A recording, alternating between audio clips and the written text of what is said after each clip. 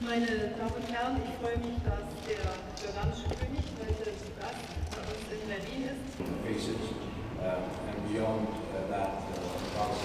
At this stage, uh, the priority is to defend uh, our allies, uh, the, uh, the, the Kingdom of Saudi Arabia, um, and so at this stage there is no um, uh, um, uh, um, procedure from the Jordanian armed forces to get involved into any ground offensive into, into Yemen.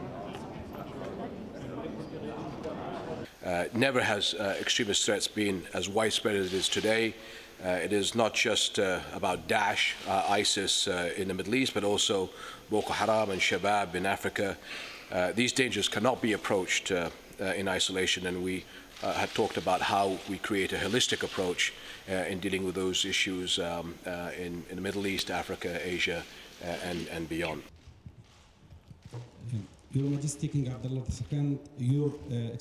Chancellor. Der Sinn einer europäischen Verteidigungs- und Sicherheitspolitik wird an den vielen Beispielen, ob es jetzt um Somalia, um Libyen, um Mali oder andere Fälle geht, äh, sehr offensichtlich.